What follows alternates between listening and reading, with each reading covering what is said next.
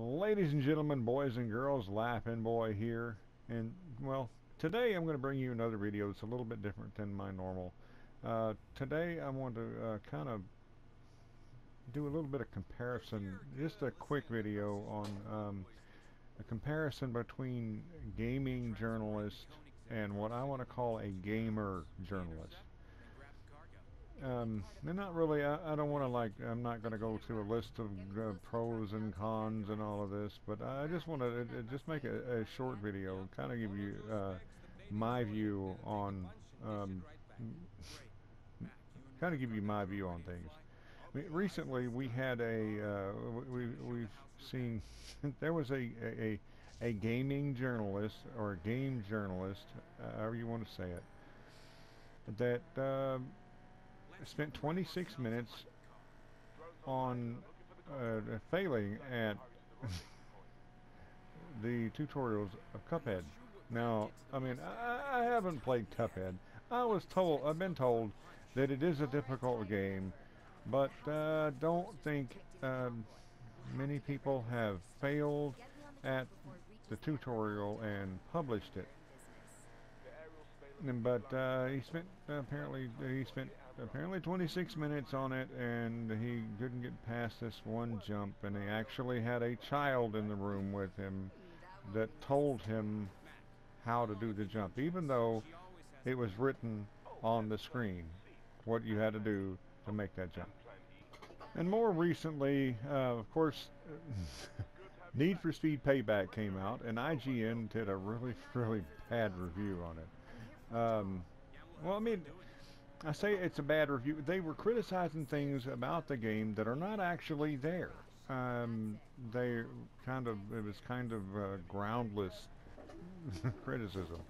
Uh, for example, they were saying uh, the uh, reviewer was saying that um, well, he was talking about the uh, the parts system granted, yes, you when you win a race or an event, you um, you get a random part. You don't know what it is. You pick, you know, you you you pick one of three cards, and you get a random part.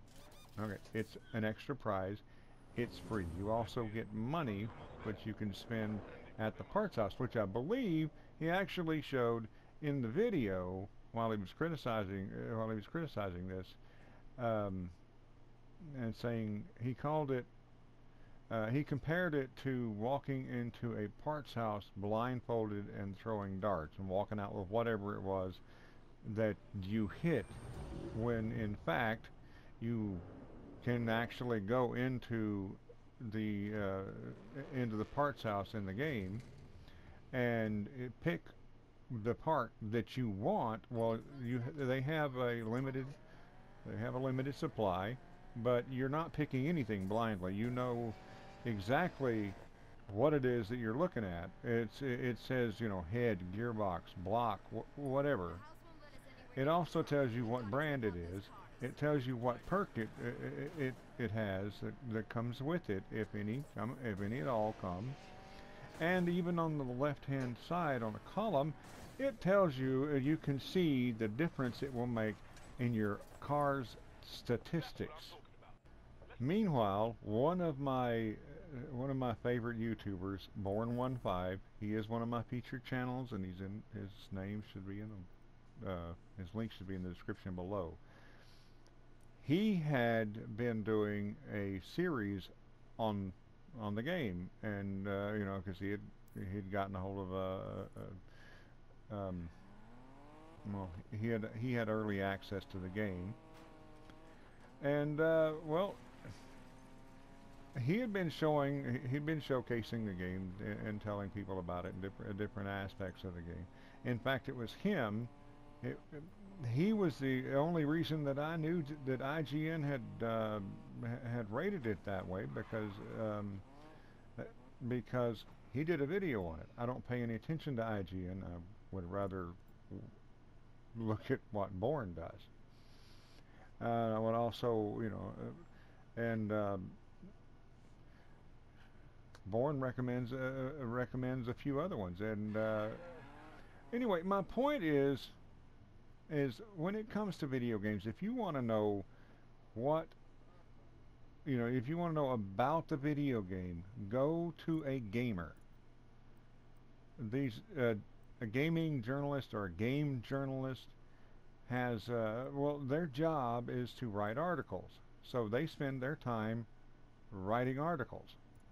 They spend a little bit of time to uh, playing the game so that they'll have something to write about, but that's about all, you know, th that's it. They're, you know, they're playing the game to write an article, then they go and write the article. Whereas a gamer, or what I want to call a gamer journalist, you know, gamer journalist, is a person who, um, well, person who has one of these in their hand. I'm talking about YouTubers. I'm talking about people who post to Facebook or Twitch or wherever else. I'm talking about people whose passion is the game, not the journalism. For example, if you want to know about a racing game, go find out what Bourne has to say about it. If you want to find out find out about a uh, indie sci-fi, go to Cobra TV. If you want to find out about the next farming simulator game, go to Brad M73. There are just you know, if you if you want to know about it, look it up on YouTube. Find a gamer that is playing it. Don't go and don't rely on, just on uh, on IGN or any other any other gaming journalist. In fact, I wouldn't go to those sources at all, and I don't go to those sources at all. Like I said, the only reason I knew that IGN gave uh, uh, gave Need for Speed Payback such a bad review was because because of a gamer journalist, one that actually knows what he's talking about. anyway, um, yeah, uh, it, that's pretty much all I have for you today. Uh, hashtag gamer journalist. Again, I'm going to remind you, please remember, not only for myself, but for any YouTube video that you happen to see out there, please remember to leave a like if you liked it. Thank you so much for watching. Have a wonderful day. LaffinBoy out.